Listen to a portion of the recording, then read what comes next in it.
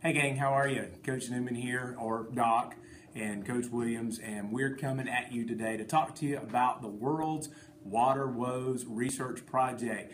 You are going to have an opportunity to drink this water. No, I'm just kidding. We know that around the world, a lot of people would say this is the kind of water that they have to drink, or this is the kind of water they have to use water and water usage and sharing water is a very difficult issue that we've got to solve. So, one of the things that we're trying to do is we're going to give you an opportunity to solve the problem. So, we're solving the world's water woes. You're going to be put into some groups. You are assigned an opportunity to do research and do some really good um, thought processing and thinking through and coming up with ideas how you think your group can get clean water to places around the world that doesn't have clean water. There's a couple of perspectives that we want you to think about. One of those is your group may be assigned to this that you're a country who has water. Because you have water, it's clean water and other people need it. So, what are you going to do? Are you going to share it? Are you going to charge them? Are you going to fight over it? What are you going to do? The second you may be uh, assigned to is that you have no water. You're a country Guess, kind of like what's behind us, Saudi Arabia, and you have no water. So where are you going to get your water? How are you going to live because we know water is life? So we're thinking about it. How in the world can we get water? How can we deliver water to the people who need it? The third thing is, is you may be a country who has access to non-drinking water. I don't know about Coach Williams, but I think this is non-drinking water. Non-drinking water. Non-drinking water. So uh, this would be the kind of water you have. And so how are you going to get water to your people? What are ways that you're going to be able to get it here? A fourth perspective, I like this one, is you're a part of a group that is developing an awareness campaign to dirty water around the world. So, in other words, you're an advertising company or you're a PR group, and you have to come up with public service announcements or commercials that show how people need water and why we need to get involved in giving them water. And then the fifth perspective, which is probably the toughest perspective, by the way. So if you get this one, it must mean you're a pretty sharp cookie. It is that you are a United Nations committee and you're negotiating with countries to deliver water around the world. And you want to try and help solve that problem. So throughout this video and throughout this process, we're going to be talking to you how you can do a great job in solving the world's water woes. Now stop and think about this. If you can solve the world's water woes, this is a billion with a B, billion dollar idea.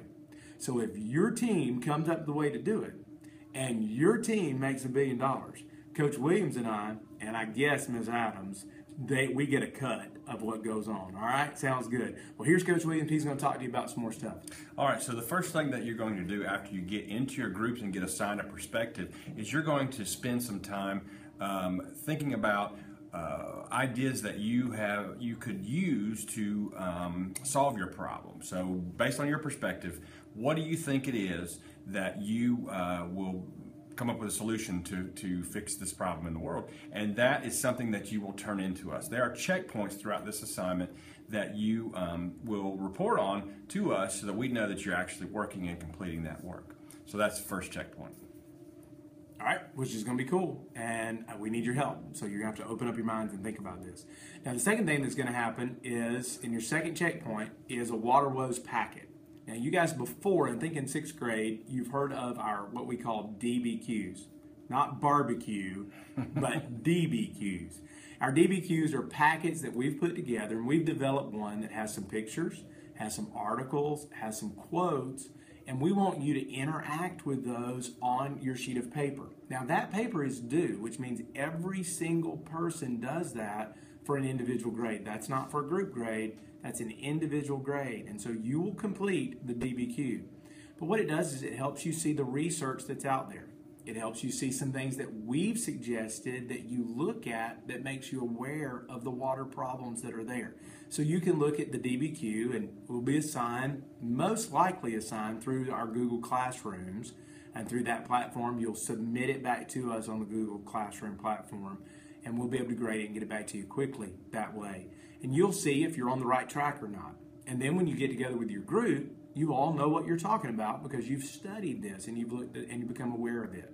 It also helps you think about where some other places I can go to find some research.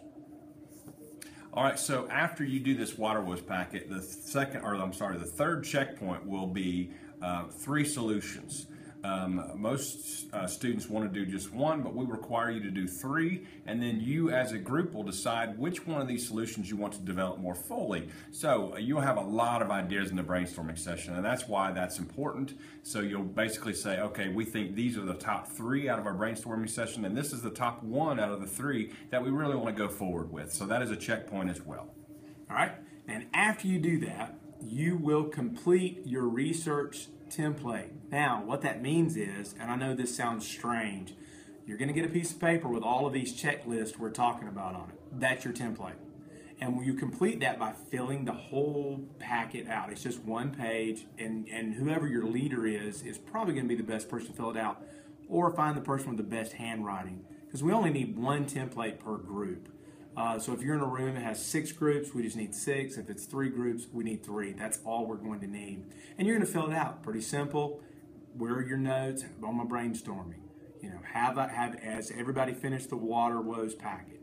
Uh, have we done our three solutions where you have those just like coach talked about three solutions but here's the one we're going to do and then this is what we're going to do we're going to research this out and figure it out then you're going to develop the technology piece, and Coach is going to talk to you about that. And then also on the template, you fill out who is assigned to what because everybody in every group has a responsibility, and you have a job, and you have to fulfill your job. Okay, on the day of presentation, uh, you have several methods that we are going to show you, um, and that has a PowerPoint all in itself. Um, that things you may have used in the past, things you may not have used in the past that would help you um, present this in a very cool way using technology.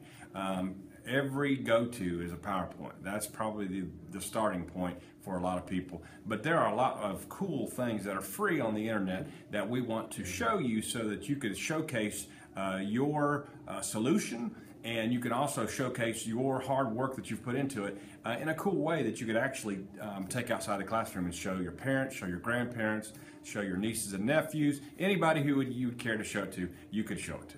Sounds good. Now, here's a really cool part to me about this is when we're signing this out, you not only are doing a technology piece, so that's something that you can show in class, and that's a presentation you make in a technology way. So it's through the board, and we'll have it up on the board and through the projector and the computer. There's another component to this. You're not just doing a presentation that is up front in front of everybody. You're also going to build a model that shows how you're delivering the water.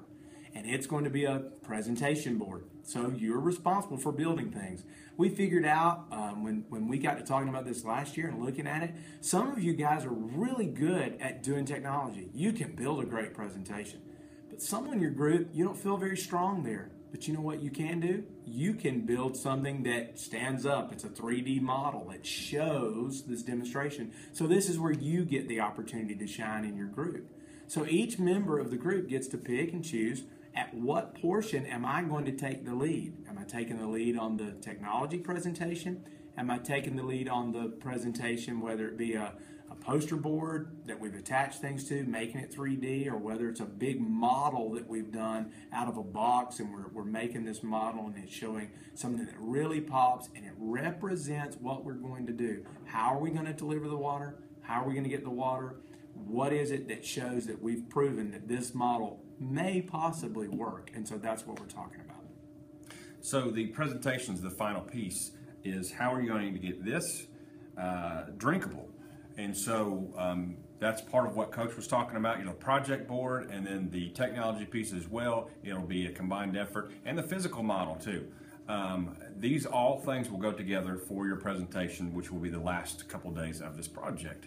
So um, also, Coach and I and uh, Miss Adams will be milling around the classroom the entire duration of this. And anytime students are not engaged in um, in actually the project, that will be uh, just a slash mark um, against you, which is basically uh, a daily grade. So um, you need to all uh, be engaged and not play. If you play, it will affect your grade.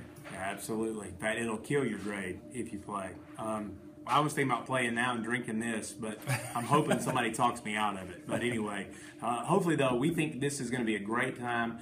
It's going to take a long time to do this. I know I'm sitting there rolling this out, and I was thinking we can't do this in a day or two days, and so we've set apart two weeks to be able to do this presentation and to be able to build our model and to be able to do our research. So if you're overwhelmed right now, and there's one or two of you that may be a little bit nervous, and you're thinking, how are we going to get this done? We're going to give you time, and we're going to be able to build a lot of these things in class, but you're going to have to bring some stuff too from home. And so be ready to bring in your part and do your part, and it's going to be great. And we're going to solve the world's water woes. And when we do, remember, billion dollar idea, share the money with us because we're teachers. We need the money. You know what I'm saying? And we need to fly out of this place. Yes, we do. we're- Get back to school, Jefferson. So help us out. Somehow. So hopefully we're there. If we're not there, where we are, it's hot. Just saying. Yeah. All right. So anyway, wow, it's rough. Yeah. But yeah, Miss Adams, she'll take over. So Yeah. she's got it. She's got all three classes. Okay. Yeah, she's got them all. All right. good. All right. Sounds good. All right. Adios. Amigo.